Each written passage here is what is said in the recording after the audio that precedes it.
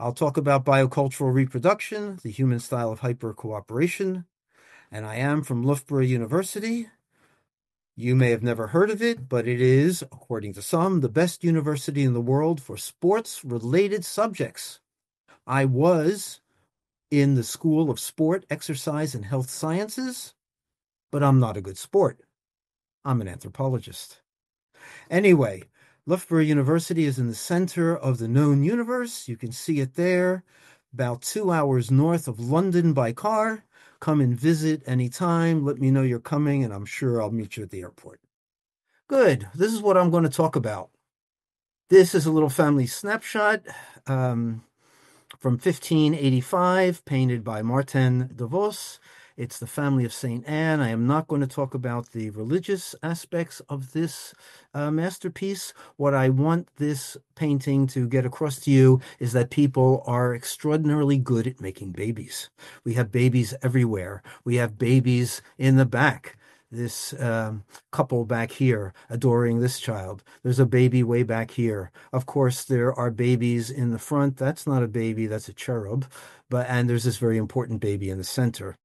People have many stages of growth, development, maturation, stages we call life history stages or periods. The stages after birth are infancy, then a childhood at about three years of age, and then juvenile stage at about seven years of age. And then with the onset of puberty and sexual maturation, people enter adolescence. And finally, about 20 to 25 years of age or so, uh, full reproductive adulthood. Then there's also, as you can see in this painting, uh, postmenopausal uh, women and possibly post reproductive men as well. This is uh, unique to our species. I'm not going to talk much about that uh, today, uh, but I'll come back to it.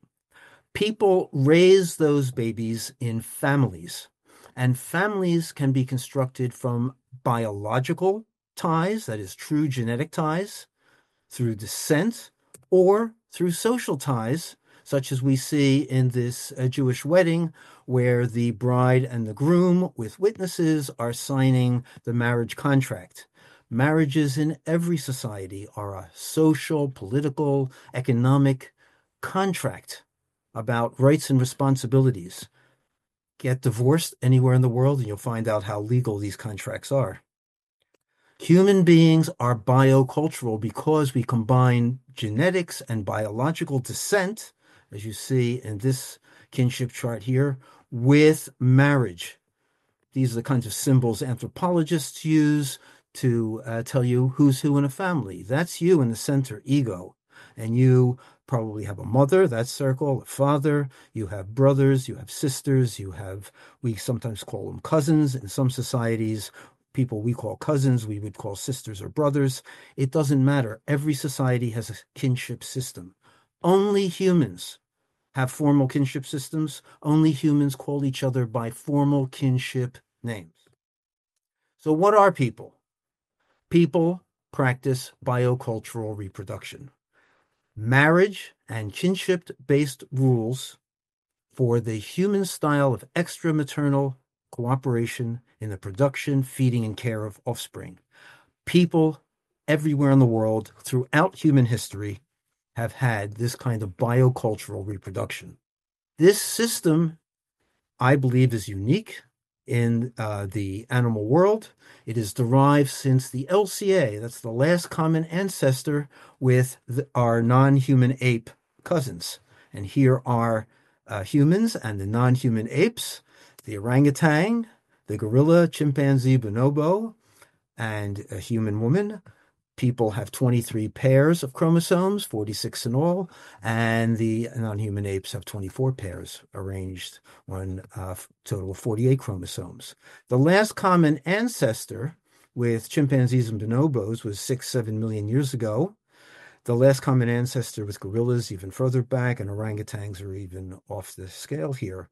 We don't know what that last common ancestor really looked like so a little smiley face there. We don't know when the biocultural reproduction system that we practice today came into being. Probably it's at least as old as modern Homo sapiens, 300,000 years, plus or minus a few years there. Okay, so it's a big question. Here's a chimpanzee mother with her infant. Chimpanzee mothers care for the current infant for four to five years. Therefore, they can only have a new infant about every 5.9 years on average. We'll say six years. This is what Jane Goodall found in her work, and uh, Professor Nishida and other Japanese researchers also working in Africa.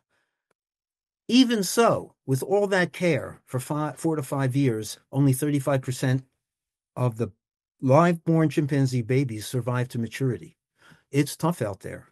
And there's a lot of infant mortality from all kinds of causes hunger, disease, predation, and even sometimes killings by other chimpanzees. Chimpanzees are social breeders. Mammalian biologists define social breeders as those species in which females live in groups and virtually all the females breed, but rarely, if ever, provide care to other mothers' offspring. We call that care allomaternal care when someone other than the mother takes care of the baby.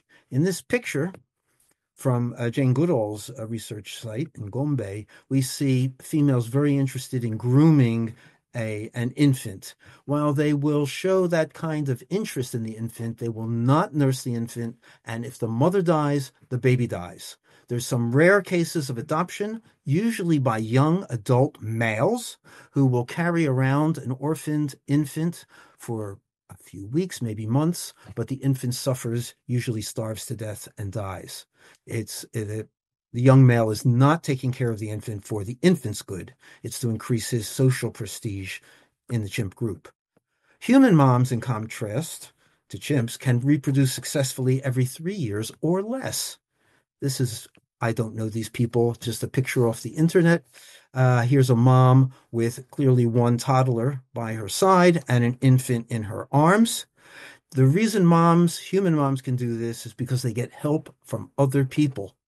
Human mothers receive help from many people, mostly from the family, but those family members can be genetic, kin, or social kin, people who have married in and it can be grandmothers, aunties, uncles, fathers have been known to help out with their with their uh, spouses' babies from time to time, grandparents, as I said.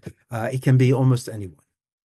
Life history biologists and our conference organizers are life history biologists. Professor Stearns, in particular, is one of the founders of the uh, field of modern life history biology.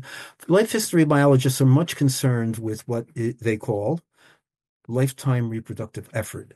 It is the lifetime energetic allocations that are given to reproduction.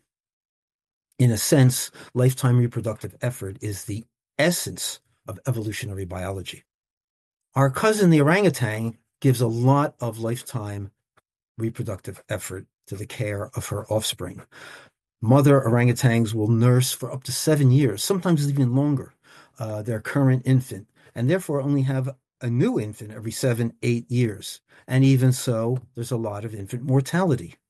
Humans, by contrast, seem to be able to crank out babies almost at will. So here's just a typical example, again, I found on the internet, of one family that we know has received a lot of input of time and energy and care from others in the family and people who serve this uh, family some years ago, a few years ago, with my colleagues Jared Bragg and Chris Kuzawa, who's a member of CARTA, and I, we developed our own life uh, lifetime reproductive effort model for humans. As you can see here, the output is mass. That's the total mass of reproductive product. The number of babies plus the weight of those babies, uh, times the weight of those babies. Well, in the first six months of life, you get energy only from your mother. That's at least in principle and around the world in what anthropologists call traditional societies, mothers nurse their infants for about six months or longer. After six months, others begin to add energy to the equation. You get energy from mothers and others. So we take um, three years of age as the point of feeding independence. That's the transition from infancy to childhood. Children are no longer breastfed, they have to eat foods that are provided to them by other people, usually, but we'll call it feeding independence from the mother. Subtract what the mother gave in the first six months, and you get a number. Here's a Kung grandmother caring for her grandchild. She might be kiss feeding this little baby. Kiss feeding means she eats adult type food, chews it up, and then kisses it into the mouth of the baby. That kind of pre mastication allows um, infants to eat uh, adult foods that they otherwise couldn't chew and, and process. Well, the number we got for human lifetime reproductive effort was 1.23 to 1.09, 02, sorry. And uh, that's just a relative number. What it means is that human lifetime reproductive effort is 14 to 29% lower than the average for all other mammals, which was calculated um, some years ago as 1.45. These are relative numbers, but statistically, the human number is much lower than the average mammal. Uh, just a simple student t-test, it is statistically significant, but it is also, and more importantly, biologically significant. Human mothers provide much less energy for each of their infants that survives to adulthood. Here's a case from my own field research in Guatemala. I've been working in Guatemala since the 70s. These are Highland Maya women, a family. The matriarch of the family is the grandmother. In this society, this Mayan society, when women get married, they go to live with their husband's family, and their mother in law becomes the most important senior female figure in their life. So, all of these adult women on the uh, right hand side here, in the middle, over here on the left, and in the background. All of them are sister in laws. And they're no more genetically related to each other than sister in laws in any family, in your family.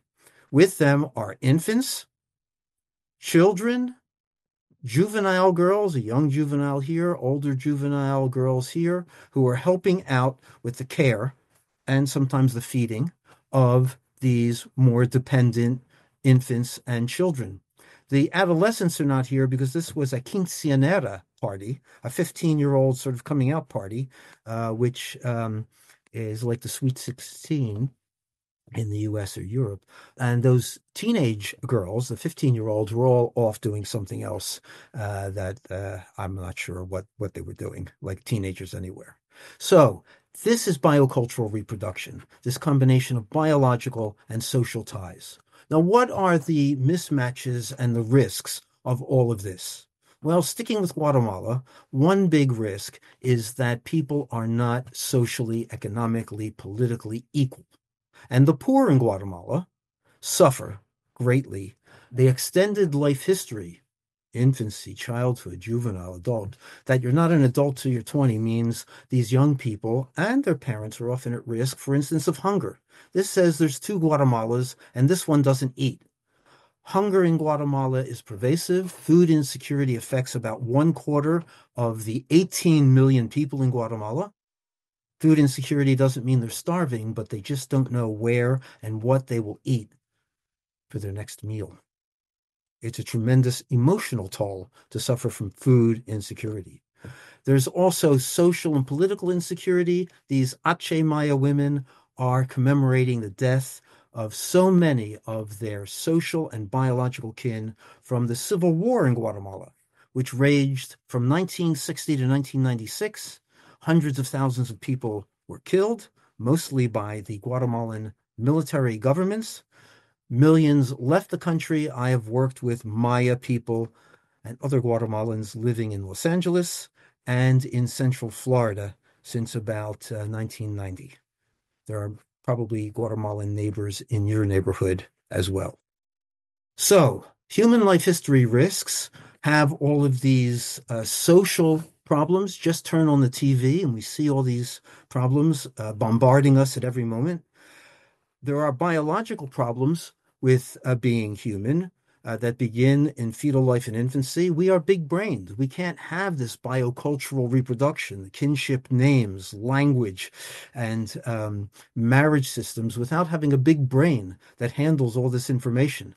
That big brain is present at the moment of birth, and it impedes a simple birth. We have fat babies as well. The fatness of fetuses and newborn babies feeds that big brain and its rapid growth. So there are problems giving birth, and there can be uh, maternal and neonatal mortality. Everywhere in the world, people give birth in groups. There are midwives and other people who help mothers give birth. Giving birth alone is a sign of a big problem. Why the woman was giving birth alone and possible uh, mortality or uh, morbidity from that birth mostly it's social problems that cause biological problems. This painting is called Black Airplanes, and it was painted during the Spanish Civil War. Uh, it hangs in a museum in Madrid, Spain. It shows you infants, children, juveniles, adolescents, uh, adult women, and postmenopausal women who are suffering from the Spanish Civil War. These long periods of dependency can lead to hunger, abandonment, and abuse. Uh, during adolescence, biological changes of sexual maturation can lead to brain dysfunctions and all sorts of risk taking. Just put teenagers in cars, and we know the kind of risk taking that can uh, occur. There's sexual exploitation of adolescents who are not prepared to uh, protect themselves. There's sexually transmitted diseases and too early of a pregnancy are all risks of being an adolescent in our world. Postmenopausal risks, osteoporosis, brain dysfunctions and dementia, and retirement is a risk if uh, we don't plan well. I'm retired, so I know the risks. War and civil unrest, of course, just as I said, turn on your TV. So, if you want to learn more about this, go to Cambridge University Press. I have a book called Patterns of Human Growth, and uh, these life history, biology, and culture and biocultural reproduction are mentioned throughout the book.